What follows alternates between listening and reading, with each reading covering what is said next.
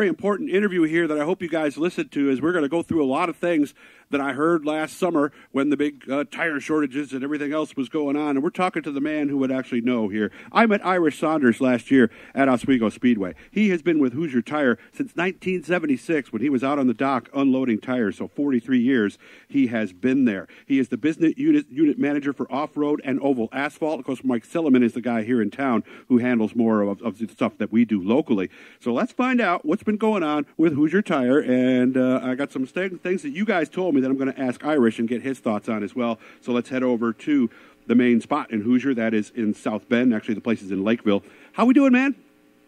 I'm doing good, Doug. How you doing? Doing very well. Sounds like we're getting ready to go this year. How are things looking right now for Hoosier? You know what? Things uh, things are looking very promising. Let's put it that way. Um, you know, out of all my years of being at Hoosier, I've in two, uh, 2022, I've never seen this many tires produced in our facility or sold in our facility. But I do think that you know it, it's uh, kind of like maybe the toilet paper shortage, Yep, Doug. yep. You know, where where everybody's like, oh well, geez, there's There's no there's three right rears there. yeah, I want to buy all three of them. You know, I don't want to get caught with my pants down, literally, right? So, Yeah, in that case, so you know, I mean, it's a it's a uh, it's a case where I think it's going to get better. I think things are, going to calm down a little bit for 2023. Um, but I think you know, it's almost like you know, like you're a kid. You know, just eat what's on your plate. Don't take more than you need, right? Gotcha. Because that's that's kind of where I think the situation got to last year. Yeah, because if you were, were on the outside, this is the of the, one of the big numbers that I was surprised at. You actually manufactured more tires in 2022 than 2021. Oh, absolutely, absolutely. By by probably I want to say fifty to eighty thousand more. Really? Yeah. Well, how many Yeah, does it was- Hoosier it was huge. manufacture if you've added them all up? Because obviously, and you can see from the graphic we've got there, they do tires for all kinds of stuff that you probably don't even know about. How many tires Yeah, do we manufacture? Well, there's going to be close to a million tires that we'll produce. Okay. You know. so ten percent more, basically, somewhere in that range. Yeah. Yep. Yep. Exactly. Why- And, and we're you know we're we're running that plant right now. We we've got a uh, seven days a week right now, um, 24 hours a day. We run the plant, and uh, they're knocking it out right now with production. But you know, Doug, here's the thing that that's happened. You know, back in the day, you used to race, you know, until let's say October, right? And then you'd give you November, December, January, February, March, and and sometimes April. So six months, five to six months to build inventory. Well, now with Not live anymore. streaming and everything, Yeah. they're, they're racing year round. I mean, it just I mean, you can turn on FloRacing and you can watch a race every every day of the week. Yes. You know, so so that's um, you know that that's part of the part of the thing. They're racing so much more now. You know, when COVID came out, you know there wasn't nothing to do with lockdown. Racetracks was like one of the first things that people got out- out to do, and we created some new race fans and we created some new racers, and uh, they're just you know just carrying on. So how did this happen? Did it just happen gradually, like you said? Somebody goes and I need a right rear. I'll go. I got three. Well, just was it just that simple? Well, yeah, I'll tell you a lot of it, Doug. You know, we we it's like uh, it's like it's a piece of pie, right? You want every distributor of all of our distributors to get a piece of that pie. So we were allocating tires to our distributors, but some of our distributors was not allocating to the dealers per se. So the dealers might have four sets of street stock tires sitting there, and a street stock guy comes up and says, "Oh, how many of those street stock tires you got?" I got four sets. Well, you know what? I'll buy them all. I'll take them all hmm. because I don't want to get short. And, and that that was part of the reason. They just weren't, you know, I don't want to say they weren't being smart, but I mean they just they just they just had to pay attention to what was really going on. No, I think your analogy about the toilet paper shortage is realistically spot on because even though I don't need those, the perception is that they're not going to be there next week, so I better buy them now. Yeah, absolutely, Doug. That, and that happened. That happened 100 percent. And from a business standpoint, I would imagine that's good news for Hoosier, right? Well, it, it is. You know, it is. But I'll tell you the crazy thing about it right now. There's been, you know, the help, getting help, paying help. We're paying help more than we ever have to starting starting pay at Hoosier. Um, you know, raw materials, you know, textiles, um, Yeah. polymers. Yeah. I mean, all this stuff is going through the roof. I mean, it's crazy. I mean, we've had it from 2022 to 2023 probably about a 35% increase in raw material costs, which is huge.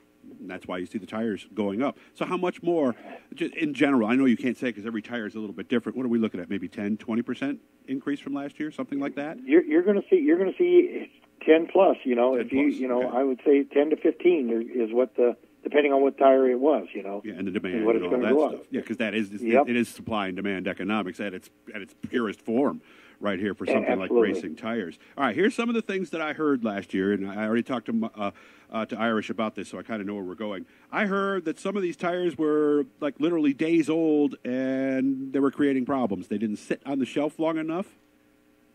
That is 100% correct. So, you know, normally myself, I like to see a tire at least have, and, and we don't want to use the word cure time, but we want to use shelf life, which Okay. actually, you know, gets all the molecules from the from the rubber. It just kind of links everything back together again, makes it a little tougher. So, you know, I like to see two to three weeks of shelf life per tire. Where that we were having, we were building tires on a. I mean, I remember ARCA tires for Pocono. We were building them on a Tuesday, and we were running them on a Thursday. Wow. It was absolutely crazy, and and the tires weren't reacting the way they should What because they they, didn't have a long enough shelf. They were wearing way Wear. quick, Okay. super quick wear. Oh, super quick. Okay, not just a little bit, but super quick. Yep, yep, yep. It was like a tire that you maybe would have gotten 80 laps out of. You were maybe getting 60 laps out of it this Okay. time now. So about twenty five percent, somewhere in there. 25%. was yep, that Yep. okay? And obviously that was just trying to keep up, or how did that happen in the first Trying- place?